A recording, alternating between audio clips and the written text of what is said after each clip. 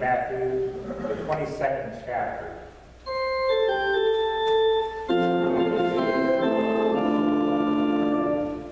Once more, Jesus spoke to them in parables, saying, The kingdom of heaven may be compared to a king who gave a wedding banquet for his son. He sent his slaves to call those who had been invited to the wedding banquet, but they would not come.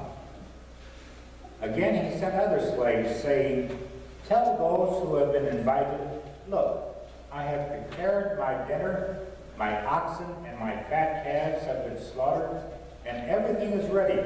Come to the wedding banquet. But they made light of it and went away, one to his farm, another to his business, while the rest seized his slaves, mistreated them, and killed them. The king was enraged. He sent his troops, destroyed those murderers, and burned their city. Then he said to his uh, slaves, The wedding is ready, but those invited were not worthy.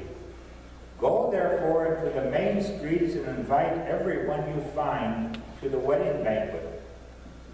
Those slaves went out into the streets and gathered all whom they found, both good and bad. So the wedding hall was filled with guests. But when the king came in to see the guests, he noticed a man there who was not wearing a wedding robe. And he said to him, Friend, how did you get in here without a wedding robe?